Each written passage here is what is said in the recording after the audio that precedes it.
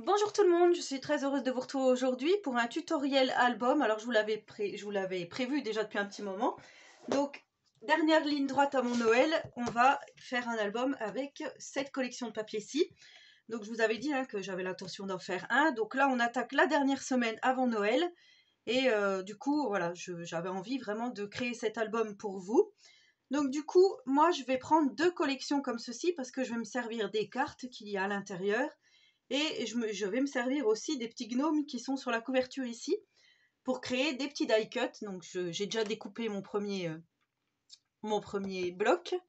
Voilà, j'ai fait des petits die cuts comme ceci. Donc voilà, pour euh, agrémenter, pour montrer qu'avec du matériel action, on peut arriver à faire aussi de jolies choses. Et surtout pour les débutants et débutantes, si ça vous, dit de vous lancer dans l'aventure euh, album, et ben voilà, vous allez pouvoir donc réaliser cet album avec cette collection de papier. Donc il vous, il vous faudra deux blocs 30-30.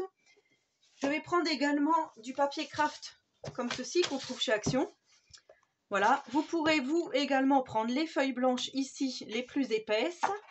Celle-ci, moi je vais prendre du papier pollen blanc en 210 grammes, voilà, en format A4 que j'avais eu sur la boutique Brico et Scrap. Mais vous pouvez très bien prendre les feuilles qui sont dans ce bloc-ci. Donc il va vous falloir aussi plusieurs blocs. Alors pour commencer, il va vous falloir deux cartonnettes de 22 par 22. Donc ça va être un, assez grand album euh, de forme carrée. Le carré, j'avoue, euh, ne pas trop, euh, trop trop aimer cette forme carrée, mais là, c'est comme ça. J'avais vraiment envie de travailler comme ça, avec une grosse tranche de 8 par 22 cm. Donc 8 comme ceci, 22 comme ça. Je m'aperçois ici que c'est un petit peu très droit. on va voir ce que ça va donner. Donc pour commencer, comme d'habitude, on prend trois feuilles A4.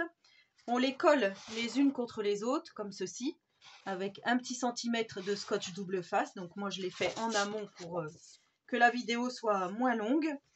Et du coup, je ne sais pas dans quel sens je vais le mettre, comme ça. On va venir placer donc nos cartonnettes. Alors moi, à savoir que j'ai déjà mis du scotch carpet derrière, hein, je l'utilise tout le temps. Le gros scotch qu'on trouve au rayon bricolage de chez Action pour coller donc les tapis et les carpettes euh, pour installer la moquette. Voilà. Donc là, je vais prendre comme d'habitude, alors ça, je vous l'ai déjà fait euh, maintes et maintes fois, mais euh, je vous le refais parce que je trouve que c'est bien quand même que vous voyez, surtout pour ceux qui, qui arriveraient sur la chaîne. Alors là, on va prendre ça. Donc là, on va faire la structure aujourd'hui. Structure toute simple, hein, comme d'habitude. En fait, je vais jeter tous mes petits débris par terre. Je ramasserai tout à la fin de la vidéo. Alors, j'en profite qu'aujourd'hui, il y ait du soleil pour vous tourner cette vidéo, comme ça. Déjà, oh là, on aura une bonne luminosité pour là.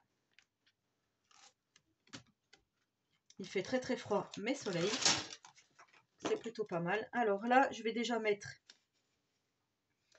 Ici, je m'aligne avec ma règle au bord pour avoir à peu près la même distance. Et là, je viens mettre ma première cartonnette. Ce que je vais faire, comme j'ai pris du carton euh, de recyclage, je vais mettre le petit arrondi de ce côté-là. Ça sera plus beau. Voilà, donc là, je vais m'aligner. Je pose ma première cartonnette.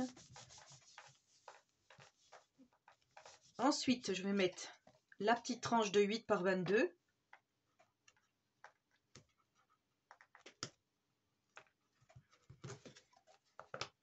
Après, si vous avez qu'un seul bloc 30-30, c'est pas grave, vous pourrez quand même faire le tutoriel en, en mettant d'autres décos que vous avez à la maison sur Noël, sur le thème bien sûr. Alors là, j'arrive pas à décoller, certainement que j'avais pas bien appuyé.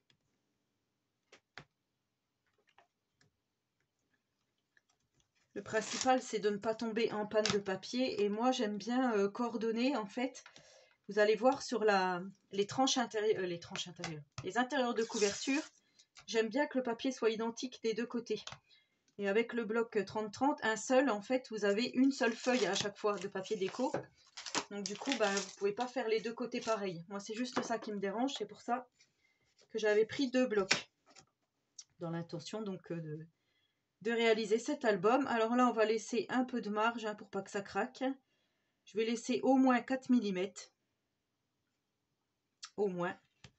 Comme ça, je suis sûre que ça ne craquera pas. Parce que là, j'ai trop peur. Comme le papier, c'est du papier en 210 grammes, il est un petit peu épais.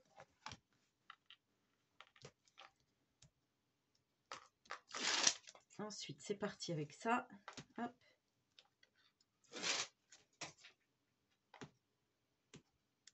C'est pire que les enfants, je jette tout par terre.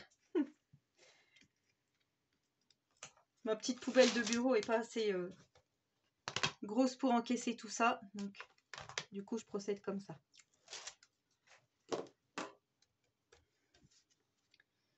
Voilà, donc là, pareil, je me recale à 0,4 ici. Oh, je sais pas, je vais faire comme tout à l'heure, je vais prendre le côté arrondi, je vais le mettre ici. Là, j'ai pris de la cartonnette de récup, hein, de calendrier. Après, vous prenez ce que vous avez à la maison? Alors, là, c'est pas mal. Voilà. Donc ensuite, moi, je viens maroufler avec mon gros couteau à maroufler que j'ai eu dans un magasin de bricolage, hein, comme je vous avais déjà dit. Je me répète un peu.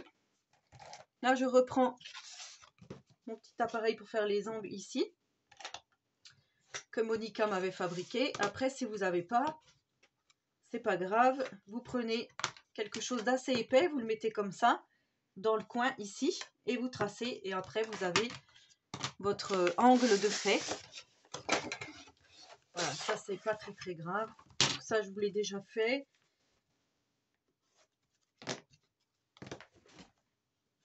Faut pas trop que ça prenne trop de temps non plus parce que c'est vrai que je vous l'ai fait euh, maintes et maintes fois. Donc là, je découpe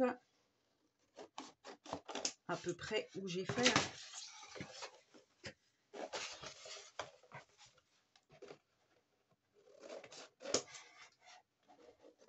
Je sais pas si vous allez voir du coup. Vous allez peut-être être en caméra le temps que, que je fasse ça. Donc ensuite, moi ce que je viens faire, c'est déjà je viens former toute cette grande longueur, faire le pli en fait, comme ceci, pour pouvoir après mettre ma colle. Parce que moi je fais tout à la colle, là je fais pas au double face. Autant je fais les couvertures au double face, autant ça non.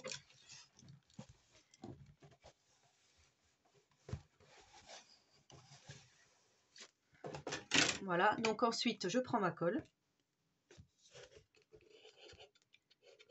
Je viens en coller de partout.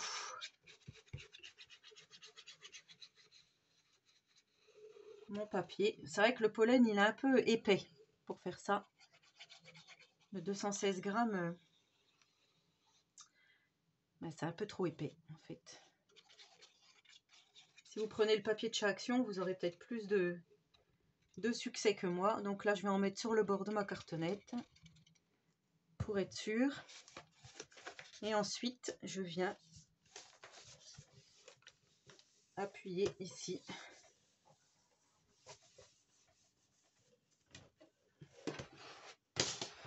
Tout mon petit papier déco, euh, déco, papier de couverture pour recouvrir.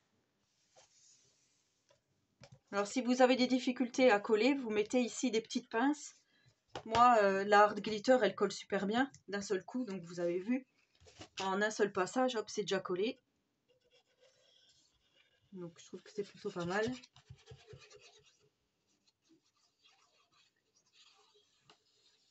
C'est pour ça que je vous dis cette colle est, vraiment bien parce que finalement elle est quand même économique à comparer d'autres colles euh, qui vont pas très bien, qui gondolent. Moi, je suis vraiment super fan de cette colle depuis que je l'ai découverte. Je ne vois plus que par ça. je vais juste un peu nettoyer puisque ça fait un petit peu sale. Voilà. Et là, c'est pareil, comme tout à l'heure. Je viens poser tout ça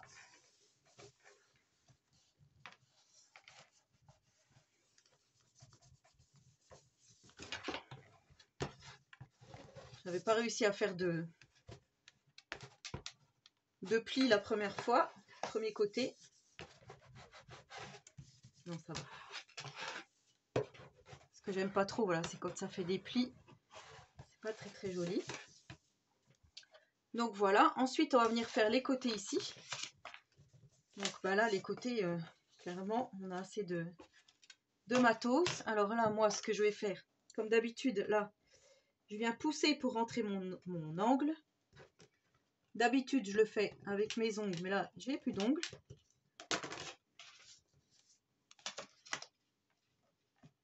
Je trouve que c'est plus beau quand on rentre bien avec les ongles, voilà. Et là, je viens coller il est peut-être un peu trop grand. Je vais peut-être le recouper un peu. Voilà, pour en voir moins quand même.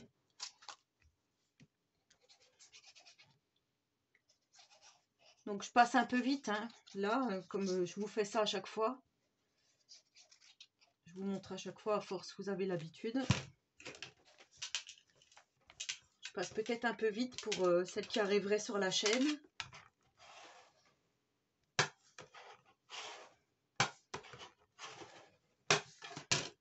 Voilà, ensuite on fait l'autre côté, ici. Donc là c'est pareil, on rentre ici le, petit angle. Donc ça c'est juste pour avoir euh, bien le l'angle ici qui soit bien formé.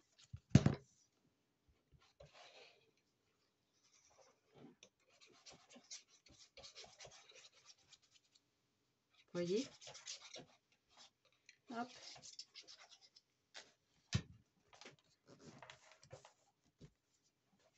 Je vais juste enlever la colle qui est là-dessus. Voilà, que ça ne fasse pas super moche. Donc là, c'est tout bon. J'espère que mon plan de travail n'était pas trop... Parce que des fois, de travailler avec du papier blanc, j'aime pas trop. Parce que ça fait des traces. Pas très propre. Donc, euh. donc voilà pour la structure. Ensuite, on va prendre un morceau de papier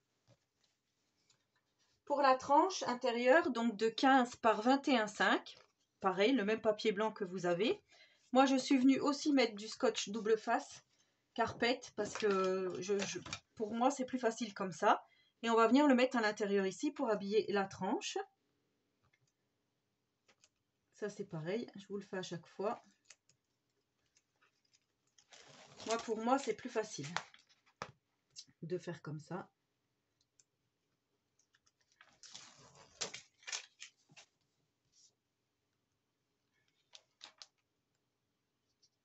Je pense qu'après, voilà, ça devient une habitude. On a toutes nos habitudes pour, euh, pour préparer nos, nos albums, nos tranches d'albums. Enfin, notre structure d'album plutôt. Donc là, je viens me placer au milieu, ici.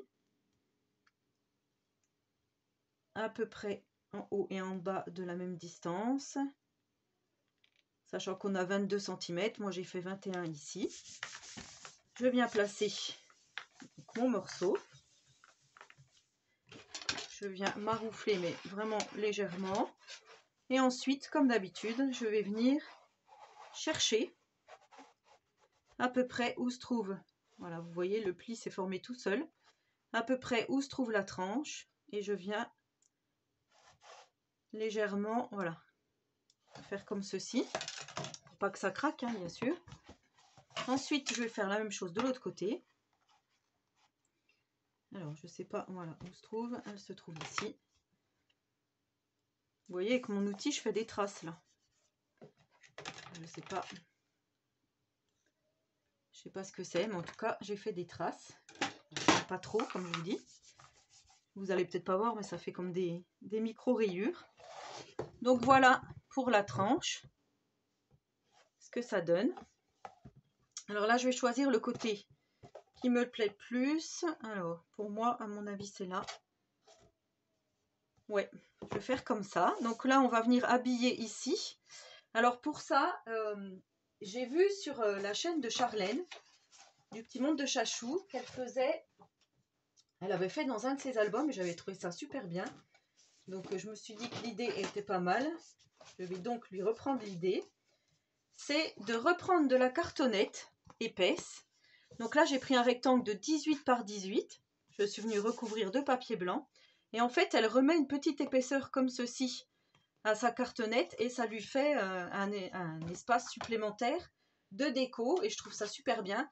Donc moi, ce que je vais faire, je vais mettre un petit morceau de craft comme ceci.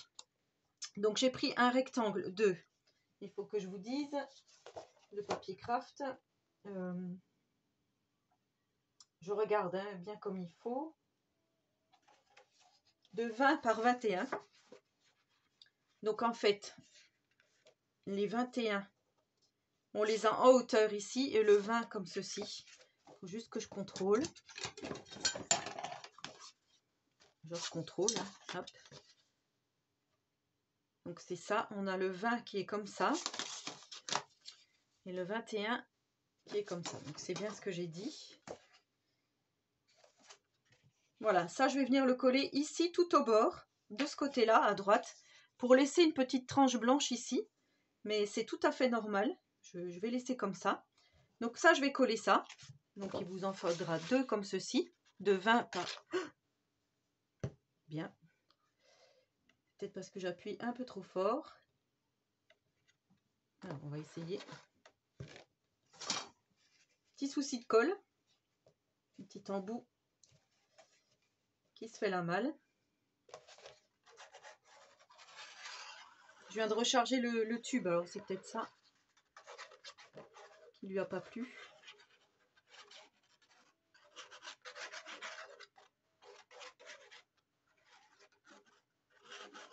Donc 20 par 21, je vous répète.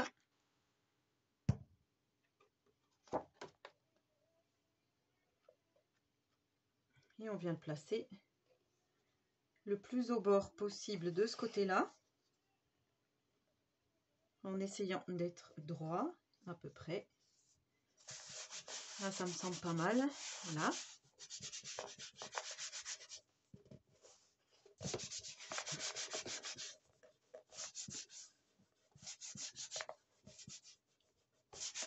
Je trouve que c'est joli comme ça. Là, on va venir mettre donc notre cartonnette de 18 par 18 par-dessus ici. Comme ceci. On va venir mettre un petit papier déco de 17,3 par 17,3 par-dessus notre papier blanc ici. Voilà ce que ça va donner. Alors je vous préviens, ça flash un petit peu le, le papier déco. Là j'ai pris le papier déco euh, glitter. Je vais vous rebaisser maintenant puisque on est bon pour la structure. Donc je vais vous baisser, comme ça vous verrez bien qu'il en est. Peut-être vous relever un tout petit peu maintenant. Hop. J'espère que vous n'aurez pas le mal de mer. Voilà. Donc là, je vais venir coller, comme je vous dis, ma cartonnette ici. À peu près.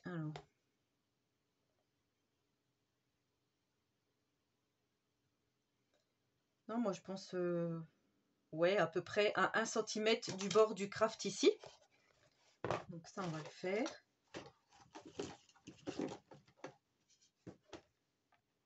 Là, j'ai mis aussi du scotch carpet comme ça, je ne m'embête pas.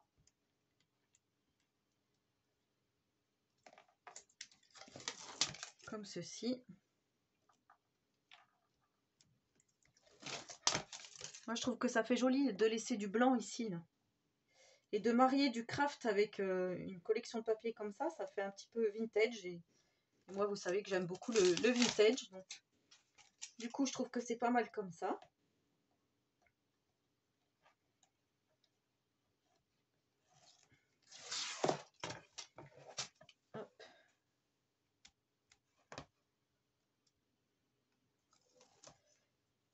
Voilà. Donc là, j'ai dit, je vais peut-être juste me mettre un petit peu comme ça pour voir. J'ai dit à peu près à 1 cm du craft. Sauf que là, j'aurais pu me mettre en bas. Donc là, c'est pareil, on essaye un peu de, de, de, de, de se caler hein. en haut, en bas et à droite. Je sais pas trop comment m'y prendre. Ça me semble pas mal.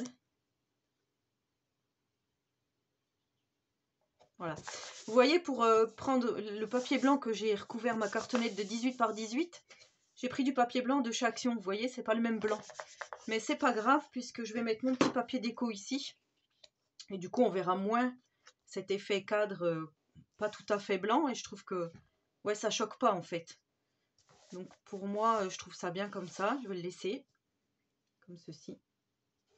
Donc là je viens coller mon petit papier de 17,3 par 17,3, papier déco.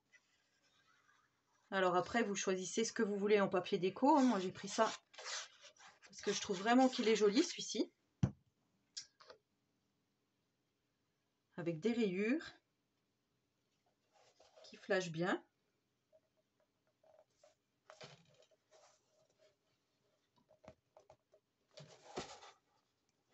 Ça fait même mal aux yeux, je trouve. Alors après, j'ai préparé un petit morceau comme ceci. Donc là, j'ai pris le papier euh, de la, carte de la collection. Donc elle mesure, je l'ai coupée, je l'ai recoupée. Elle fait 9,8 par 14,4. J'ai pris un papier craft un peu plus grand. Donc de 10,5 par 14,8. Et on va venir coller notre petite euh, carte comme ceci ici. Et ça, il va falloir le faire deux fois. Donc là, j'en ai déjà préparé une. Je vais vous dire pourquoi deux fois. Parce que là, on va venir faire... Donc ça, j'avais vu euh, sur une présentation d'album de Charlène et j'avais trouvé ça super. On va venir faire une languette ici qui va fermer notre album avec la même carte euh, qu'on retrouve au-dessus ici. Et euh, je trouve que c'est super, super joli comme ça.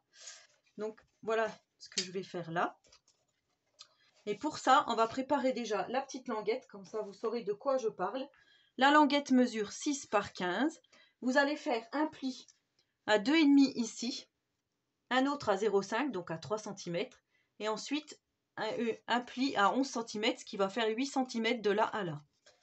Donc 8 cm, c'est la hauteur de notre tranche, ce qui va nous permettre de faire bien notre languette. Voilà, donc là, je vais coller ma languette comme ça. Elle va se retrouver comme ça, ma languette. À peu près, hein, grossièrement. Et là, je vais coller mon papier déco et mon autre languette, pardon, qui va se retrouver comme ça par-dessus la première. Peut-être que je ne l'ai pas fait assez grande, mais normalement il n'y a pas de raison.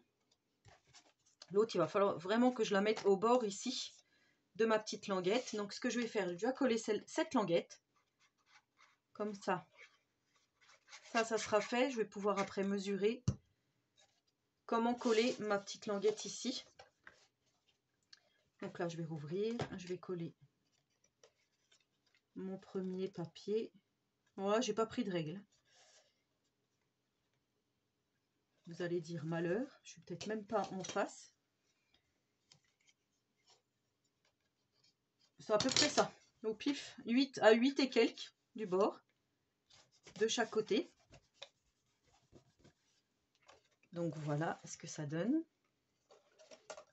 Et là, on va faire la petite languette ici. Donc ça, je vais le coller tout de suite. Mon petit papier déco.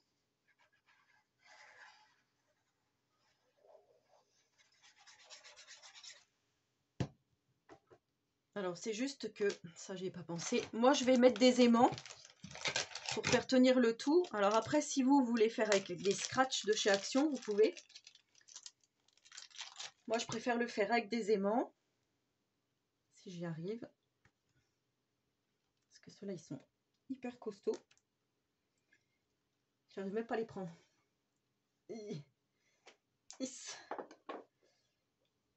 Alors, en voilà déjà un. Du coup, tout de suite, je vais mettre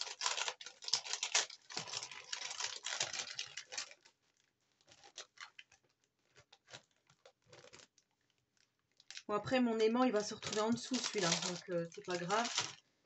Je remettrai un petit papier déco. Donc, ça, ça n'a pas d'importance. Je vais juste faire comme ça, tout de suite.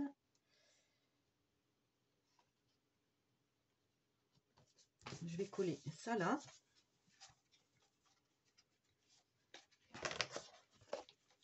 Et là, je vais mettre un autre aimant, mais je ne sais pas encore où.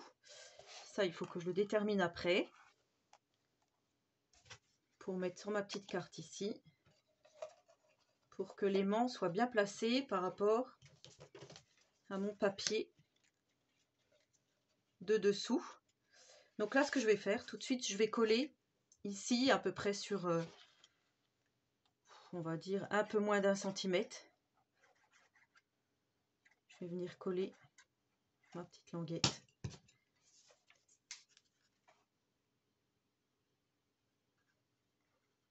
Celle-ci.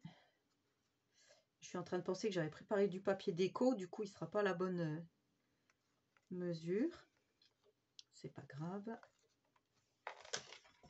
Ça, c'est quand on n'a pas trop l'habitude. Moi, j'ai, voilà, vous savez hein, que je fais des choses quand même assez simples. du coup, là, c'est vrai que je me retrouve un petit peu, je vais pas dire le bec dans l'eau, mais tout comme. Alors, la seule chose qui me dérange, moi, c'est que là, je suis pas centrée. C'est que ma languette, alors, est-ce que je peux décoller un peu? Essayer de tirer un peu. Je vais essayer.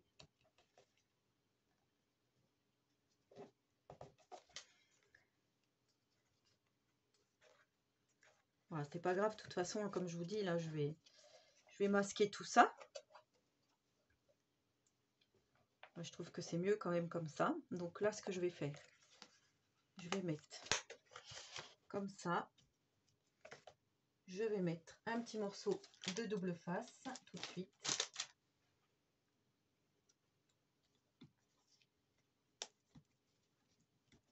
Donc vous, si vous mettez des scratchs, ben mettez tout de suite votre scratch pour savoir à quel endroit vous allez placer votre carte. Donc, pour moi, je pense que là, ça sera bon. Sauf que ça ne veut pas y aller.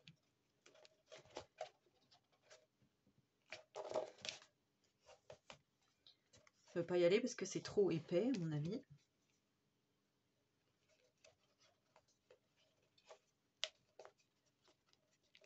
Je veux pas non plus... Euh, voilà, je voulais pas tordre ma carte. Donc là, on doit être bon, normalement. Et là, je vais venir coller ma petite carte gnome. Et je vais essayer de la coller en même temps que l'autre, comme ça.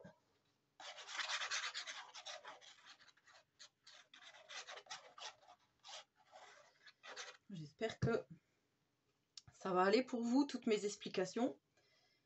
Donc moi, ce que je me dis, c'est... Je vais m'approcher comme ça, puisque de toute façon, là, il n'y a rien qui craint.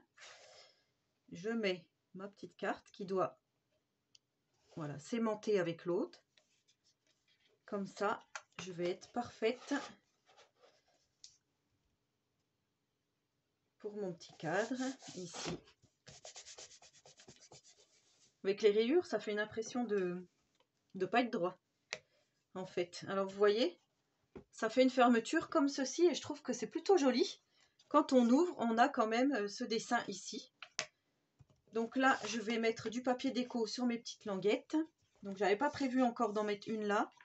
Je vais voir, euh, je verrai dans le prochain tuto, en fait. Il, vous suffira juste de mettre du papier déco ici. Donc là, j'avais prévu déjà mes petits morceaux de craft doivent aller ici. Donc de l'autre côté, mais je vais le retailler. Et on a, on a ici, je vais mettre un petit morceau de craft avec un petit papier déco et pareil de l'autre côté.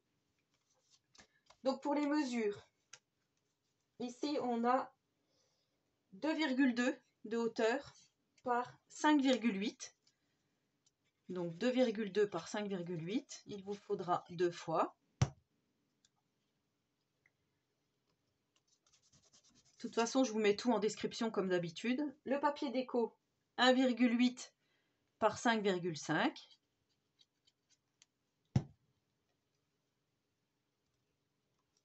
Voilà, deux fois également. Je trouve ça super joli. C'est très joli le craft avec le blanc. Ici, un papier déco de 7,7 par 5,7. 7,7 par 5,7 cm. Oui, puisque notre languette mesure 8, donc forcément, c'est bien ça. Et ici, un papier déco de 7,2 par 5,4. 7,2 par 5,4 ici.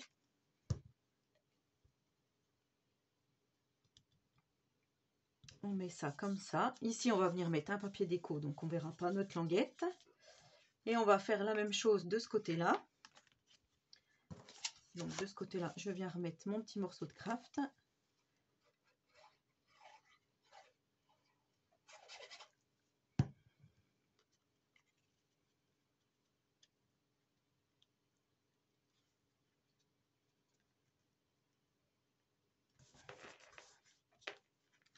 Le seul truc, c'est qu'il faut quand même que je sois à peu près centré. Voilà, et mettre celle-ci ici.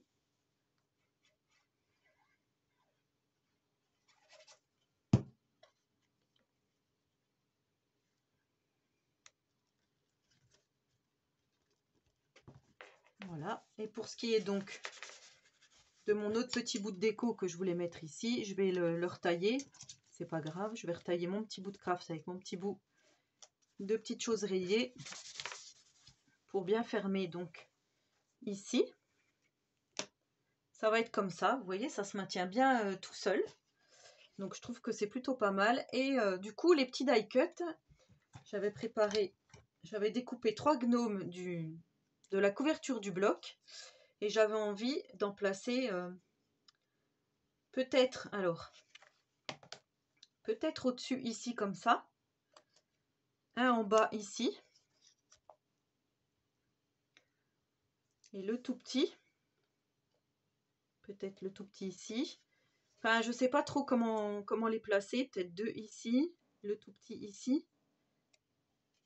Ce qui fait que quand on va refermer, qu'est-ce qu'on va voir? On va avoir un petit bout de gnome, donc peut-être le mettre carrément au-dessus, celui-ci. Vous voyez Et ici, du coup, le placer plus ici. C'est pas mal comme ça. Et celui-ci, eh ben, on va le garder. Ouais, celui-ci, on va le garder. On va coller les deux petits ici. Donc celui-là, euh, je pense que je vais mettre en 3D, du coup, comme je vous ai dit.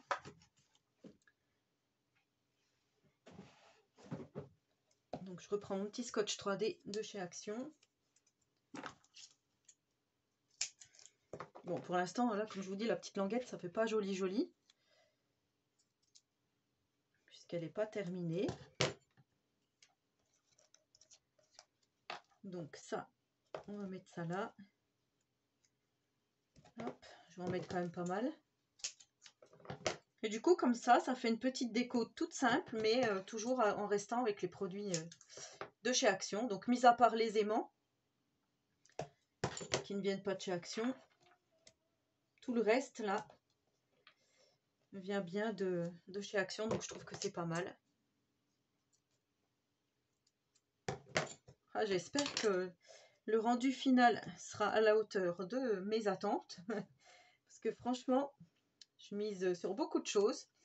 Donc en fait, Charlène, elle avait fait un album euh, pour sa fille, pour les euh, de 0 à 1 an de sa fille. Elle avait fait une présentation au mois d'août d'un genre comme ceci, hein, avec exactement le même système de fermeture. C'est ça qui m'a donné l'idée. Et du coup, ben, je vous mettrai en description le lien vers l'album si vous ne l'avez pas visionné. Après, elle n'avait pas fait de tutoriel. Donc euh, moi, je me dis que c'est pas mal de réaliser un tuto. Voilà, mon petit gnome est tout joli. Après, je disais peut-être mettre aussi de la fausse neige. Ça peut être possible hein, pour égayer un peu. Alors, je me mets juste en face de moi pour bien regarder où je le mets. Moi, j'aurais bien mis par là. Mon petit gnome, croirait qu'il danse. Voilà. Donc ensuite, ne pas oublier de mettre de l'autre côté le morceau de craft. Hein. Moi, je vais le coller hors caméra. De toute façon, je vous avais donné les dimensions juste avant. Donc, comme ceci, pour laisser un peu de blanc ici. Et là, on va faire l'intérieur. On va juste coller deux papiers déco. Donc, pour les papiers déco euh, intérieurs, papier déco intérieur, 21,5 par 21,5. Ben oui, puisque notre cartonnette fait 22. Donc, on va venir coller de chaque côté, ici et ici, notre papier déco. Voilà, donc ça, je vais le faire. Et voilà, une fois que tout est collé, ce que ça donne. Donc, je suis plutôt contente du résultat. Donc, on a bien ici notre tranche toute blanche. Ici, notre papier craft. Et ici, donc, on a nos petits gnomes. Notre fermeture d'album qui se présente comme ça là, ça tient tout seul pour l'instant. Je ne sais pas, une fois que ça, ça sera rempli, euh, ce que ça va donner. Et après, quand on ouvre, on a nos papiers déco de chaque côté. Donc maintenant, il n'y a plus qu'à faire les pages à l'intérieur. Mais en tout cas, la structure pour moi est terminée. Donc j'espère que ce tuto vous aura plu. N'hésitez pas à reproduire. Hein. Je trouve que l'idée est vraiment super bonne. Donc là, comme je vous dis, il faut juste que je refasse bien ma petite déco ici, qui n'est pas très très jolie. Imaginez-vous, voilà, que ce soit comme ça. Comme ça, ou d'ailleurs peut-être mettre un autre papier déco, du coup, je vais voir. Je voulais rester plutôt dans les rayures, mais je pense que je vais retailler un peu mes petits papiers ici. Voilà, pour ce premier tutoriel. Donc j'espère que, et que cet album vous plaira. Donc n'hésitez pas à me soutenir dans cette aventure. En attendant la prochaine vidéo, je vous souhaite à tous et à toutes une très bonne journée créative. Et surtout, prenez soin de vous.